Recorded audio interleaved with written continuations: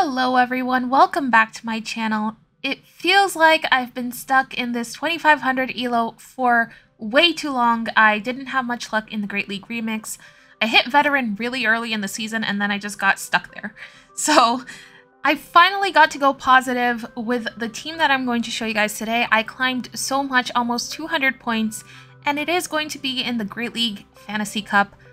I absolutely love this cup. I know some people don't enjoy it, but I really like that it brings some of the Pokemon that we almost never get to see and makes them meta. Like, we almost never get to see Shadow Flygon, Slurpuff, uh, what else? Mawile, but I mean, Mawile's not that good in this cup. Uh, Turtonator, that's another really unique one. So I'm having a really good time and I want you guys to have a good time as well. So I'm going to show you guys what I learned in my battles, and if you guys want to run this team, you can. Flygon is an absolute monster. That is what I learned. It is so good against everything, and I don't think it has any counters aside from fairy types with charm. Like the charmers, oh, also Whimsicott. Whimsicott is absolutely going to destroy Flygon, unfortunately, and uh, Shiinotic if you run into one. But Flygon is so strong. I am using it as a safe swap on this team, the team is going to be Escav lead with Azu in the back and Flygon on the safe swap. So the idea is that you have two things in the back that will counter Turtonator for your lead, which is going to be really weak to fire types.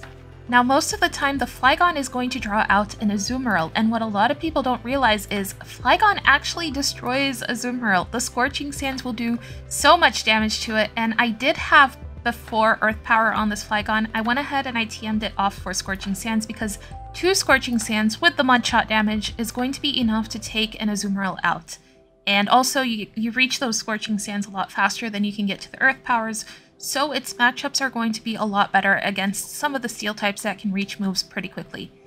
I'd say some of the biggest weaknesses for this team are going to be Whimsicott and Slurpuff and Shiinotic. They are a little bit tricky to deal with. I have been able to beat them, but most of the times I will lose against those if they are in the back, if I'm not able to align Escav to them. Even Escav will struggle against them, but at least it will get them low and in a place where Azumarill can take them out. I will say when I started playing this team, I was seeing a lot less of those Pokemon. Now I'm seeing them a lot more, so the meta has shifted. Skarmory is another tricky one, but I will show you guys how I counter Skarmory later on in the video. But anyways, that's enough rambling from me. I have so many battles to show you guys. I did take a few battles out of all five sets that I played yesterday. Because again, I climbed a lot and I really wanted to show you guys the journey.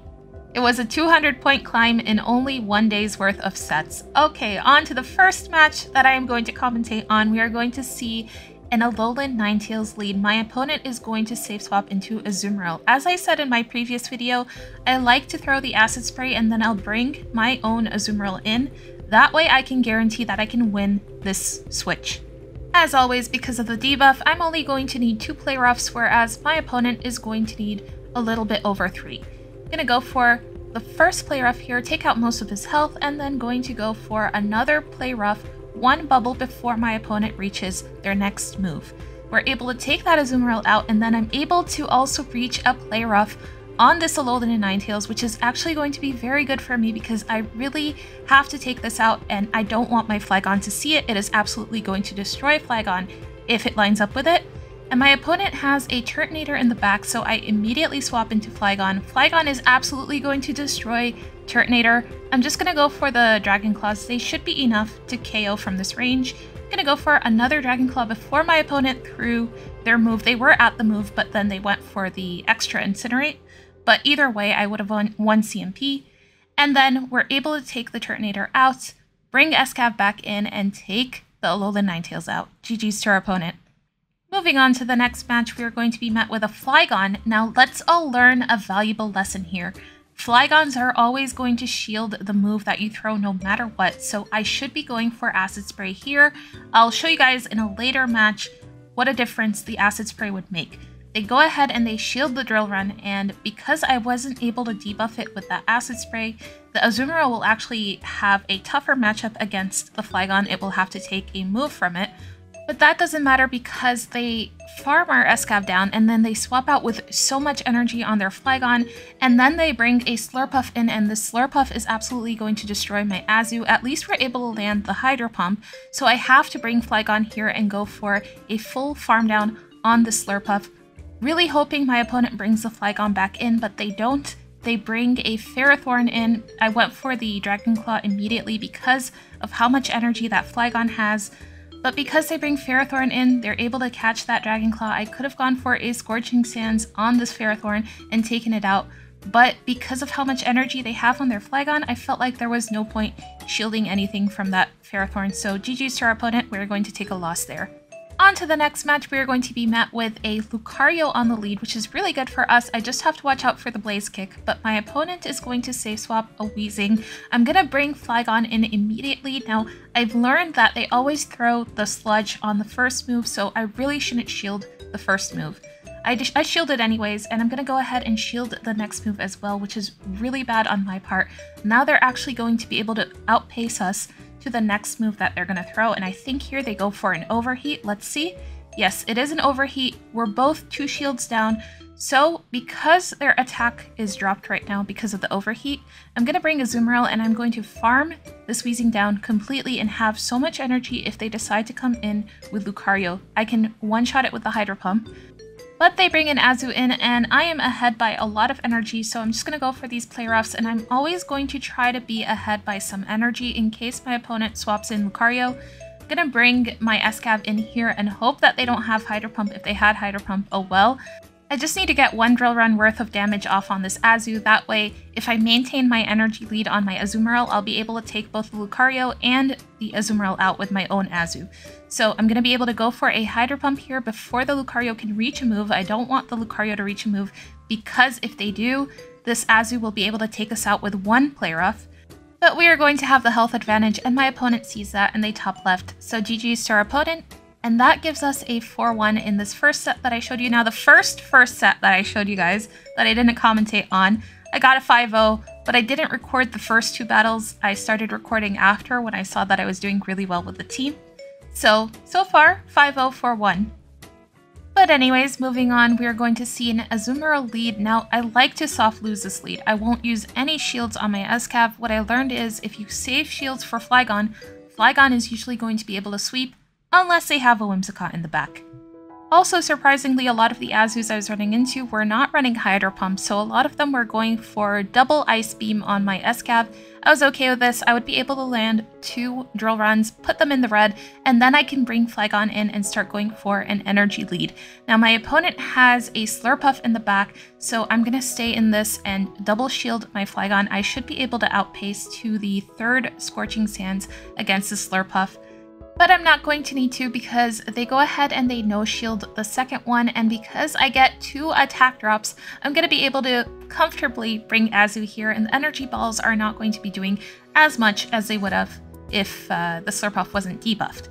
So I'm able to take two energy balls on Azu, and my opponent has a Flygon in the back. I did watch for a catch, but because their Azu is still very healthy, I'm going to have to go for a Play Rough on it anyways, and then I can reach a Play Rough on the Flygon, take their final shield, and now I can bring my own Flygon in and go for a Dragon Claw. But because their Flygon is not Shadow, they're going to be able to survive with very little HP, unfortunately for us, but because Azu is still alive in the back, I'll be able to bubble it down. So GG's to our opponent, we're going to take that win. Moving on to the next match, we are going to see a Flygon on the lead, and here you will see what a difference the Acid Spray is going to make. Of course, I am expecting my opponent to shield. They did go ahead and CMP tie with us, and we won CMP over the Flygon. So Flygon actually surprisingly loses CMP to a lot of Pokemon.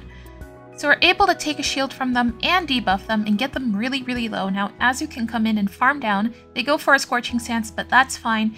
They'll only be able to get one off, where if they had had more health, they would be able to get a second one off. So Az is going to be able to take that just fine, and then they bring a Skarmory in. And as I said before, Skarmory is a little bit tricky for this team to deal with. Unfortunately, these Scorching Sands are not going to be doing too much to it because they are going to be resisted and I have to go for three to get the Skarmory out of the way. So I'm going to bring Azu back in now and I attempt to go for a farm down, but my opponent swaps out. They swap out with a lot of energy on Skarmory, by the way, and they bring a Tapu Fini in. I'm going to be resisting the fast move, but the Moonblast is going to be doing enough to take our Azu out here. They do go for a Surf, however, so they're going to be able to land another Surf. We're already in the red, so this is not looking good. The Skarmory is going to be able to reach a Sky Attack on our Azu as well, so GG's, we're basically going to take this loss, and we're not going to be able to win this. It was close though, so I'm not completely unhappy with that loss.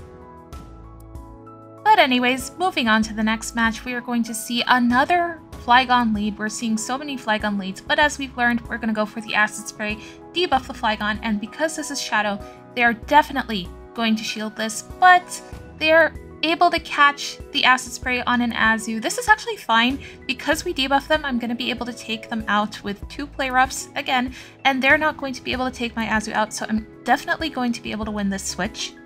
I'm just going to try to be ahead by some energy, so I'm going to throw the second play rough one bubble before they reach their third play rough. That way I have a ton of energy on my Azu. Wait, did I do that?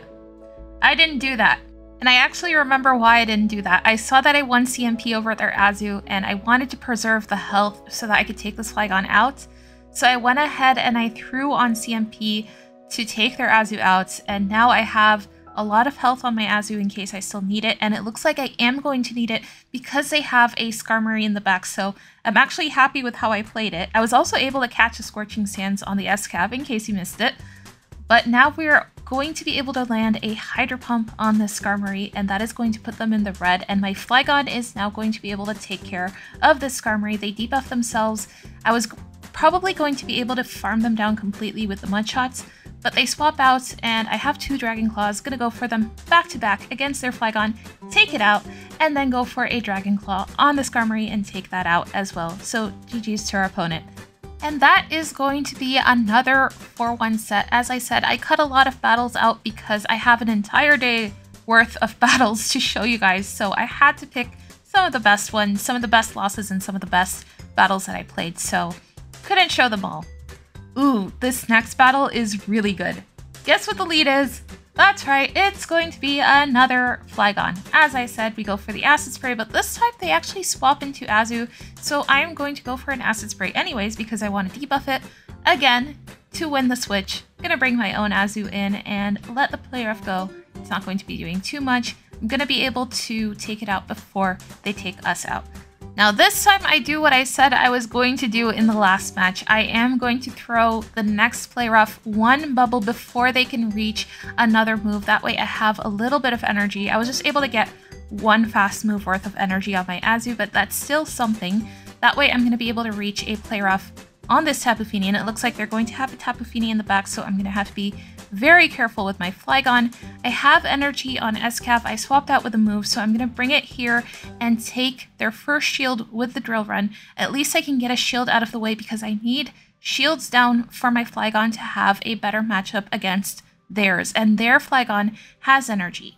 I'm going to go ahead and shield whatever this is here, expecting a Surf, but they let me get a few mud shots in. That's going to be fine. I'm gonna go for a Dragon Claw on this Flygon. I used my last shield. Now I have to make a catch. I'm able to catch the Dragon Claw on my Azu and save my Flygon. Now I'm gonna be able to land this Dragon Claw because shields are down, take the Flygon out, and I just have to reach a Dragon Claw on this Tapu Fini before it can reach another Surf. Take that out as well, and we take that win. GG's to our opponent. That catch saved me. On to the next match, we are going to see a Skarmory on the lead. This is actually fine because we are resisting the fast move because it's not going to be running Air Slash anymore, it's running Steel Wing, so S-Cav is going to be resisting that. The flying moves are going to be neutral, however. I have to watch out for a Brave Bird, but I called a Sky Attack here, and I was able to survive it and get to another drill run, but my opponent catches it on a Flygon, which I'm actually okay with because any damage I can do to a Flygon is going to be really good for me to bring my Azu in and then potentially take it out before they can reach another move as well. And they are running Earth Power, so I'm going to go for that play rough for sure because two Earth Powers are going to be enough to take Azu out and they bring Skarmory back in, but I'm also able to reach a Play Rough on the Skarmory and take it out, and my opponent has a Stunfisk in the back, so they are going to top left because I have Flygon, and Flygon is absolutely going to eat Stunfisk alive. Speaking of Pokemon that eat each other, this Turtonator is absolutely going to destroy my Escav, so I swap immediately into Flygon, and we draw out a Charmer. They have a Wigglytuff, this is so bad for me, but at least Able to land a Scorching Sands, and the Scorching Sands does a decent chunk of damage to this uh, Wigglytuff. Now I'm going to bring Escav back in and fully farm it down, and I'm not going to shield anything from the Wigglytuff. They're just going to go for an Icy Wind, which is going to be resisted. Unfortunately, my switch timer is not up yet, so I had to take an Incinerate on my Escav. I'm not sure if I would have been able to flip this match in my favor if I hadn't taken that Incinerate, but anyways, they do give us a shield for the drill run. I'm able to bring Azu in now and go for a Hydro Pump, and they no-shield the Hydro Pump, and they have a Whimsicott in the back. Unfortunately, I do not have Ice Beam on my uh, Azu. They also have a shield left, so this first play rough is going to take their final shield, and then I'm going to shield here just so that I can get the play rough off. I go for the play rough, it's not going to be enough to KO the Whimsicott, and I here, I wasn't sure if I would have been able to make that acid spray if I had not taken that incinerate, so not sure. I think the Whimsicott would, ha would have still won that anyways, so GG's to our opponent. On to the next match, we're going to see another Skarmory lead, but this time they swap immediately into Flygon, so I'm going to go for that Acid Spray before swapping out. We managed to take a shield from them, as expected, and now I can bring Azu in. Unfortunately, they are going to be running Earth Power, and they are going to be able to reach another one before I can reach that Play Rough, but because they're not Shadow, two are not going to be enough to take us out. Now, I do decide to go for the full farm down, that way I can have energy for Skarmory. I'm going to go for this Hydro Pump. Hopefully it will land. It lands because my opponent does not want to give up their final shield, and they have a, uh, what's this thing called? Haxorus, that's what it's called. A Haxorus in the back, I'm going to be able to outpace to the Dragon Claws of my Flygon. It looks like my opponent knows this, so they let the Haxorus go, probably hoping that Skarmory can win it for them. But I'm going to bring Escav in, go for a drill run, and it's going to do a lot of damage to that Skarmory. I could also reach a Scorching Sands on my Flygon, so there was no point in my opponent shielding there. So GG's to our opponent. And that's another positive set. Moving on to the next match, we're going to see an unfortunate lead of Turtonator. I'm immediately going to swap into Flygon, and I am going to try to win this Azu matchup as much as I can. Going to go for the first Scorching Sands. It lands, of course, and then I'm going to shield the Play Rough. Because they have Play Rough, this matchup is going to be a lot more in Flygon's favor. The next Scorching Sands is going to take their first shield, and then this next one is going to take their second shield, so they are both shields down, and I am going to be able to reach another Scorching Sands. This is how spammy this thing is. TMing Earth Power off of it was so worth it. I know that was the Community Day move, but completely worth it. And now I have alignment. I'm going to be able to align Azu against Turtonator. They have a Whimsicott in the back. To go immediately for the Acid Sprays. Now the Moonblasts are going to hurt my Escav, and I don't think I'm to be able to make it to another move. So that is going to be unfortunate, but I have a little bit of energy on Azu, so I might be able to reach the Play Rough before my opponent can reach a Grass Knot. We're able to reach it. That's going to be really good for us. Let's see what this Turtonator is running. A lot of them were running uh, Flash Cannon, so Flash Cannon is going to hurt a little bit more than uh, the other moves that this Turtonator has. So they are running Flash Cannon, but I have Hydro Pump, and they live with 1 HP, but we're also going to be able to live this Flash Cannon with a little bit of HP and take the Turtonator out. GG's to our opponent. On to the next match, we are going to see a Ferrothorn on the lead, which is really good for us, but then my opponent swaps into a Flygon, and I have to debuff it before swapping out, so I'm going to go for the Acid Spray. At least we take a shield, but I am going to have to shield as well because they reach the Scorching Sands and it will do so much damage to us, Escav and I make a huge mistake here. I bring Azu in, I catch the Dragon Claw at least, but I bring Azu in and they have a Ferrothorn in the back and now Ferrothorn is aligned to my Azu. I probably should have just committed to staying in with Escav and I also wasn't counting right I lost track of my opponent's energy and it cost me big time because if I knew they were going, going to throw a Dragon Claw, Dragon Claw is resisted, I could have easily taken that on Escav, taken the Flygon out, and then based on what they had in the back, I can swap. Now, this Ferrothorn is going to have so much energy because I brought an Azumarill into it. Really bad play on my part, really dumb. I don't know why I did that. And they have Azu in the back. Our Escav is going to be aligned to it, unfortunately. I only have one shield left. I have to reach a Scorching Sands before they can reach a move. If they let this go, this is going to be good. Then I don't have to use a shield here. They let it go at least. So I'm going to go ahead and shield here, but like I said, they're going to have so much energy on this Ferrothorn. I managed to bait with a Dragon Claw and get their final shield, but I'm not going to be able to make it to another move before this Ferrothorn can make it to another Power Whip, and that Power Whip is going to be enough to KO. I played that so bad.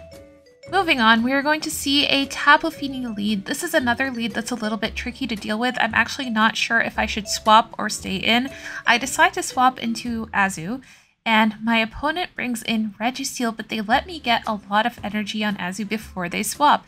So I'm going to be able to land a Hydro Pump, and I might be able to land a second Hydro Pump as well. But unfortunately, we are going to get an attack debuff, so this Hydro Pump is not going to be enough to KO the Registeel. I think I would have been able to take it out if it weren't for that attack debuff. But now they're going to take us out with a Focus Blast, and I'm going to bring Escav back in, counter it down, and let's see what my opponent decides to do. They bring Turtonator here, and I go for a drill run. At least we get a shield, but I still had to take that Incinerate, and I could have done two counters in the time that they did that Incinerate, but it's looking really bad for us right now because their Tapu Fini is still very healthy. I'm gonna let the first Surf go, shield the second Surf, and then let's see if my opponent decides to shield the Scorching Sands. They don't. We're able to take it out.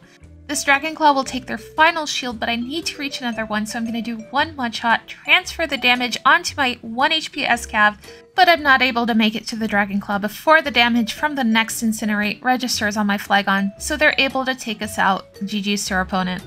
Now moving on to the final match of the video, thank you guys if you've made it this far. We are going to see a really nice lead of Magnezone my opponent immediately swaps into Azumarill. I'm going to go for the Acid Spray as I always do, and then swap into my own Azu. I'm going to let the first Play Rough go, and then I am going to go for my own Play Rough. And it looks like I am going to lose CMP, so definitely not going to go for CMP on the next one. So, we know that I should throw before my opponent reaches the next move so that I could get this off. Gonna go for this play rough, it should be enough to take it out, and then they are going to bring Magnezone in, but I don't want them to farm me down, so I'm going to swap Flygon in, let them bring whatever they have in the back, that's fine, it is a Tapu Fini, and we go for a Scorching Sands and we manage to get the attack drop. This is really good. And we're going to go for another Scorching Sands, expecting my opponent to shield again. They do, and this time I decide to let my Flygon go because I want to save a shield in case the Magnezone gets to a move. But my opponent is going to go ahead and throw a Surf here, and actually I see that I can win this if I double up on the drill run. So I'm going to go ahead and I'm just one counter away. I know that my opponent needs one more Volt Switch to get to a Wild Charge. So I'm able to safely reach that second drill run in the middle of my opponent's Volt Switch, take the Magnezone out, and then take that win. GG's to our opponent. And that leaves us off at 2734. We are so close to expert and it has taken me way too long this season to get to it. But thank you guys so much for watching. If you guys enjoy my videos, please consider subscribing, leave a like, it helps me out so much. And I will see you guys in the next video. Bye bye!